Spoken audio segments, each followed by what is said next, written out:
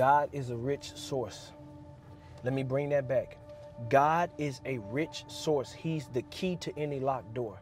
He's the gap to anything missing. There is no lack. He can supply and meet every need. Stop going to people who can't help you. Stop bringing your dire needs to people who are struggling themselves. God is a rich source. When you lean on him, he will sustain. When you lean on him, you will experience faithfulness. If you're lonely and you need to be loved, go to the lover. God is a rich source. Stop going to people to get something that only God can give you. Be encouraged. Keep going. Go execute.